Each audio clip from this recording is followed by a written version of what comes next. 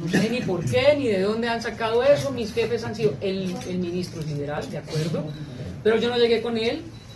Eh, llegué en el año 2000. He tenido jefes conservadores, liberales, de la U, de todos los partidos políticos, pero es que mi, mi designación no obedece a una designación política.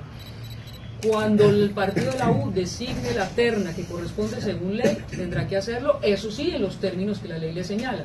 Yo no vengo en representación de ningún partido.